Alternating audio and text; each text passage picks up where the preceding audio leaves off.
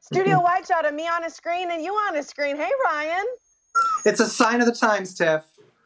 It sure is. Ryan Jay joining us. Uh, Molly's at home today, and you've got Toto with you. She's That's so right. big now.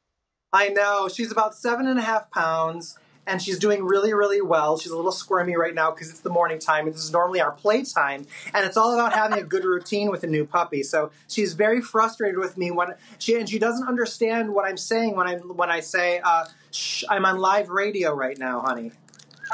That's right, because I, I don't know if all our viewers know, but you have a radio tour that you do every Friday morning about movie reviews before you join us on the Morning Blend. So, yeah, she probably has not quite gotten that routine down yet.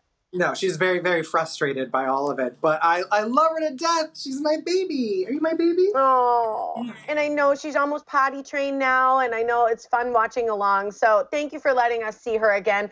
Hey, I, I know that did the Emmy nominations come out? What's what's going on with all that? Yeah, I know you're all up to date on it all. Yeah, the Emmy nominations did come out, and what's really interesting is we saw a lot of streaming services get nominated this time around, and it's it's we've been having a discussion in both film and television about what's going to happen in the future because as theaters are now shut down, I was thinking theaters might close if Netflix had won Best Picture at the Oscars last year, which it didn't. But um, some theaters would start to close. But now with the pandemic and the shutdown, things are uh, really negotiating at a very different pace right now, and what reopening is going to look like.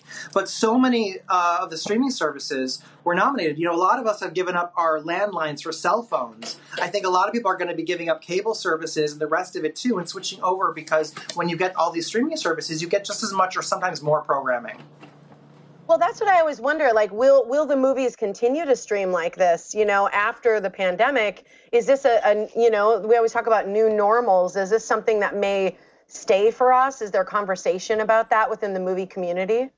There really is. I mean, like one thing that happened this week that was just announced was Universal and AMC Movie Theater, which is the largest theater chain not only in the country but the world, announced and they broke the window, meaning of when movies would go to on demand or home video release. Normally, there would be a lot of time between at least three months between the time when a movie was released in a theater and when it would be on demand. And now there was a deal with AMC and Universal that it's going to be just 17 days. Okay.